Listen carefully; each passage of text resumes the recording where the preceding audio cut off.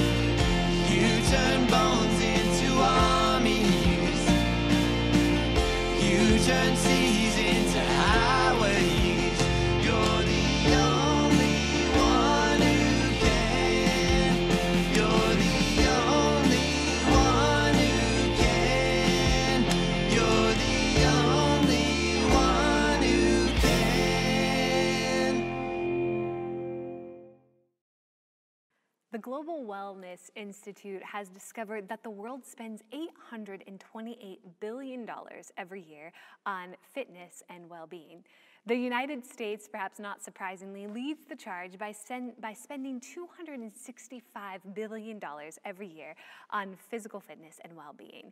I mean, it might be true in your household. Um, we think about the different items that we buy for our fitness. We buy sports equipment or gym memberships or mindfulness equipment or running shoes or kayaks.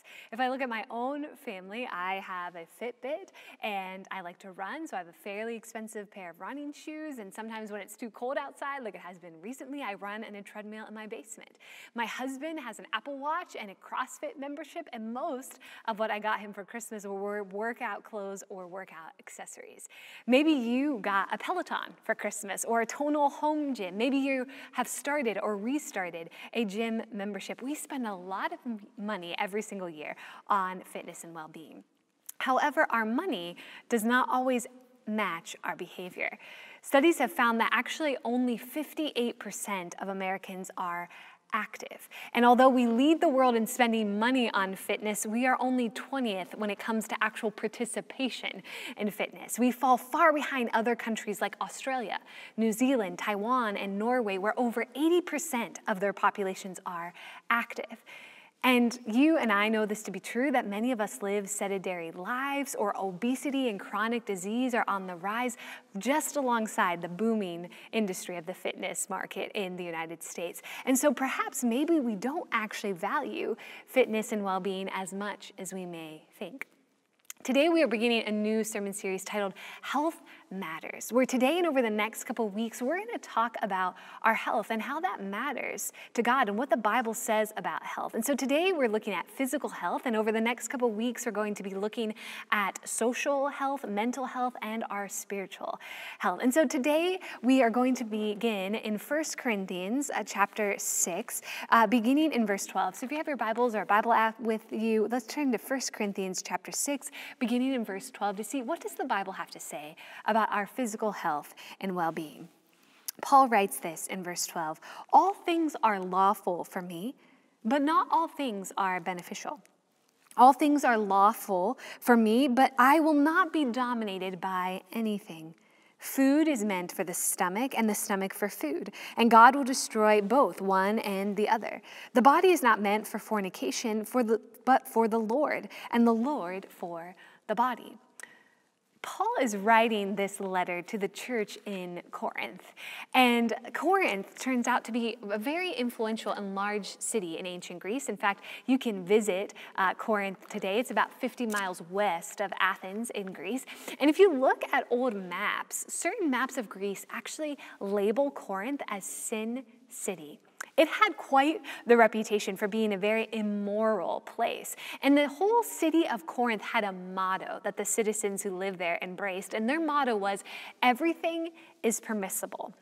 They thought everything is permissible for them. It was a very laissez faire environment, perhaps not too unsimilar to our environment today, where you do you and I do me, and as long as whatever you do doesn't infringe on my personal freedom, we're all good. And so that was very much the culture of Corinth, where they thought everything was permissible to them. And so Paul knew this motto of the city of Corinth, and so he references it as he begins this part of the letter by saying, All things are lawful for me, all things are permissible, but not everything is beneficial. Sure, you can do whatever you want, but it's not always beneficial to you or to the people around you. Paul repeats this again by saying, All things are lawful, but I will not be dominated by anything. Paul doesn't want to be dominated by any area in his life. And he gives two examples of things that sometimes dominate our lives. One is food, and the, sex, and the second is sexual behavior. And so Paul is giving these as examples to warn the Corinthians and perhaps us today against the idea of overindulgence. Paul knows, as well as you and I know, that we can overdo it on anything. We can consume lots of extra calories trying to fill this emotional void that we feel inside. We can seek after all sorts of different sexual behaviors trying to get rid of the loneliness inside of us. We can scroll for hours mindlessly on technology just trying to numb the pain that we don't really want to address that's bubbling up inside us. We can even overdo it when it comes to exercising and try to chase after some idealized self image. We can overdo it or overindulge on almost anything, and it can dominate our lives. And what Paul is saying is don't overdo it, don't overindulge. In fact, you can almost hear echoes of Galatians 5 in this passage where Paul is talking about the fruit of the Spirit saying that the fruit of the Spirit is love, joy, peace, patience, kindness, goodness, faithfulness, gentleness, and self control. Is that Paul says that we, as followers of Jesus, are called to self control, not overindulgence. And if we have self control rooted in the first fruit of the Spirit, which is love, then yes, indeed, all things will be permissible for you. If you are rooted in love and have a sense of self control, then all the decisions that you make will be good and in alignment with God's will. In fact, one famous theologian once said, Love and do what you will. Because if love is your motive, if the root and the core of your desire and actions and decisions in the world, then you will make only good and life giving decisions. Everything that's good and healthy and life giving will be permissible to you, that all things are permissible if you are rooted in love. Paul continues uh, in this letter, picking up in verse 14. And God raised the Lord and will also raise us by his power. Do you not know that your bodies are members of Christ? Paul is reminding the Corinthians that God physically raised Jesus from the dead. God did not just raise Jesus' spirit or his soul, God raised Jesus' body. And we as Christians believe in the physical body resurrection of Jesus Christ. In fact, the early church had to wrestle with this idea because in the early church, there was a particular group of believers who did not actually believe in the physical resurrection of Jesus. This group became known as the Gnostics, or the idea of Gnosticism. The word gnosis is the Greek word for knowledge. And so this group of people thought that Jesus came as a messenger to give them secret knowledge that would help them find their way back to God. And because they elevated knowledge so high over everything else, they actually thought that matter, all matter, is evil. So they thought that the body was evil. This led this group of people, known as the Gnostics, to not believe that Jesus actually was God in the human flesh. They did not believe in the idea of the incarnation. They did not believe that Jesus died a physical death, nor did they believe that Jesus was raised to a physical body resurrection. And so the early church was wrestling with this group of believers who had these ideas, and the church came together and said, No. This is not the correct thinking or teaching of Jesus. Jesus came in human flesh. He died a physical death, was raised in a physical resurrection. That is the true truth that we hold to as the church. And so Paul is reminding the church in Corinthians that our bodies matter to God. That Jesus' body matter and our bodies matter. And to drive this point home even more, Paul writes this in verse 19. Or do you not know that your body is a temple of the Holy Spirit within you, which you have from God, and that you are not your own? For you were bought with a price. Therefore,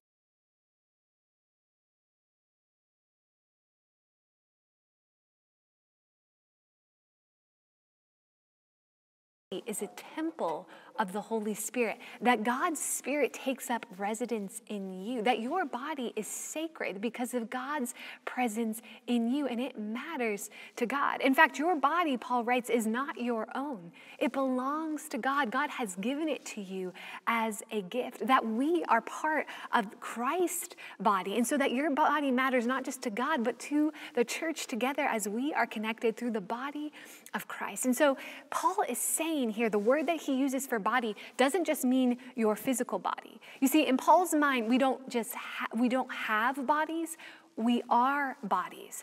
The Greek word that Paul uses for body means so much more than just our physical body. It means your whole sense of self or your identity. So Paul believes that whenever you do something to harm your physical body, it doesn't just harm your physical body, it harms your identity, your sense of self, your personhood. So, whenever you take one too many painkillers, or one too many sips, or one too many bowls of ice cream, that doesn't just harm your physical body, it harms your identity of who God has created you to be. That your body matters to God, and that you are called to be a good steward of the body that God has given you. So, if you don't hear anything else today, I want you to hear that, that your body matters and that we are all called to be good stewards of the bodies that God has given us. And so, as we are entering into 2022 and we're thinking about our physical health and well being, I challenge you this week to think about what is one way that you could be a good steward of your body in this week and into 2022.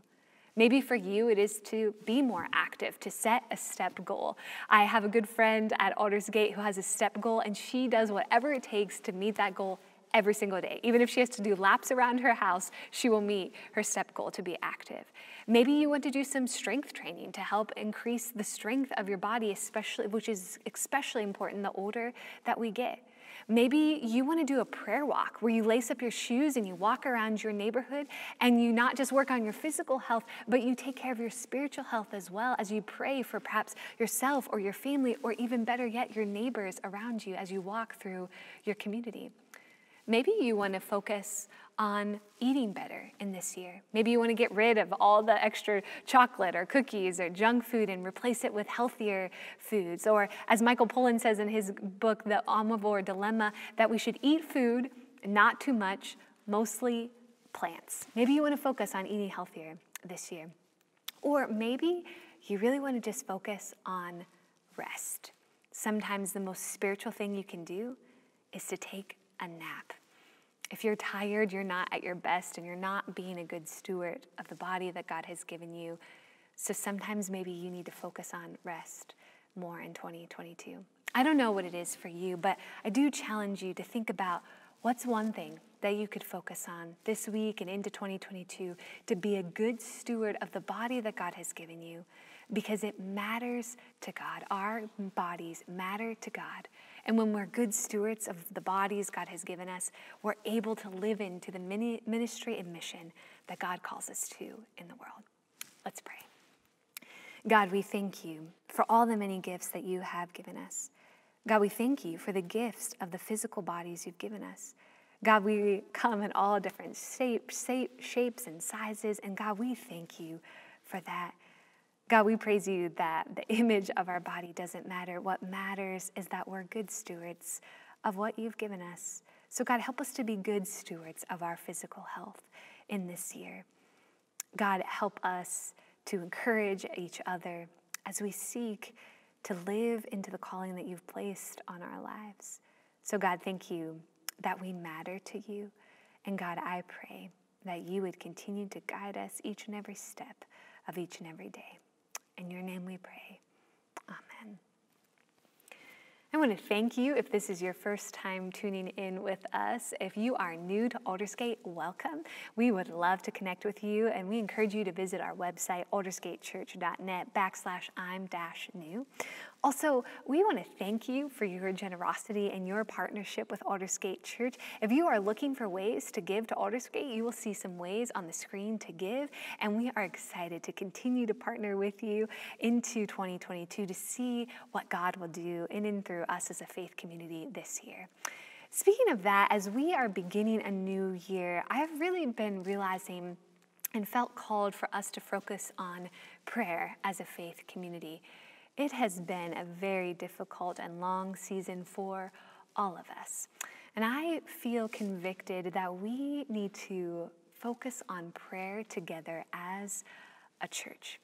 And one of the things I want us to be praying for is our executive council. They are the spiritual leaders in many ways of our church here at Aldersgate, and they have to make some very hard decisions. And so, right now, I uh, want to thank three incredible people who have served on the executive council for three years. They serve in three year terms, and their term has come to an end. And so, I want to thank Carla Brenneman, Kelly Heisey, and Peter Train for their incredible service to the Executive Council.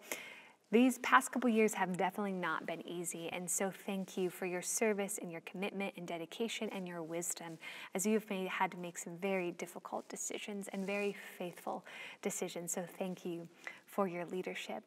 We also want to welcome our three new Executive Council members, and so we want to welcome Jackie Bender, Scott Coburn, and Leanne Rutt as our three new council members who will begin their three-year term starting now in January of 2022. And so I want to take a moment to pray over these new leaders and thank God for the leaders who have served in the past. And as we take a moment to do that, I also just want to share with you a new prayer initiative that we are starting as a church this January in 2022.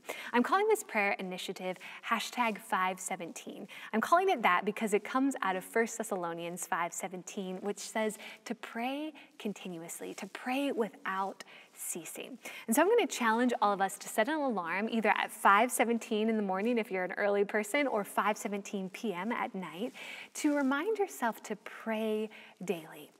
And each month, I'm going to offer us a different prayer focus that we can have together as a church. So, for the month of January, I'm asking us to pray this scripture passage out of Isaiah 45, verse 2. And this comes from the message version of scripture. It says, I'll go ahead of you, clearing and paving the road. As we are in this season of January, the beginning of a new year, I'm asking us to pray for God to continue to go ahead of us, to clear the path, and to pave the road. There is still a lot that remains unknown to us as a congregation to see what God has for us in the future. And so I want us to be praying for God to continue to go ahead of us, to clear the path, to clear the road, and to pave that for us as a church, that we would trust in God to continue to lead us into this new year. So, would you pray with me? God, we thank you for how you have faithfully gone before us in the past. And God, we ask that you would continue to go before us, that you would go ahead of us, that you would clear the path and pave the road for us as a congregation, that you would give us your vision, your wisdom, and that you would lead us faithfully into this new year. God, we pray that you would continue to provide for this church all that we need. God, we thank you for ways you've provided for us in the past by raising up incredible leaders like Carla Brenneman, Kelly Heisey, and Peter Train. And God, we thank you for their dedicated and faithful leadership. And we pray a continued blessing over their lives and their families. God, we pray for the new council members who will be joining this year and helping to lead the church into the future. So, God, we pray for Jackie Bender. We pray for Scott Coburn. And we pray for Leanne Rutt that you would grant them wisdom, guidance, your vision, and direction as they help lead this church into the future. So, God, for all the leaders and the staff and ministry teams and volunteers, for each and every single person connected in and through Aldersgate, God, we pray for each and every single person that you would bless all of us in this new year, that you would guide and direct our steps, and that you would draw us closer to you through your Son, Jesus. It's in the name of Jesus that we pray.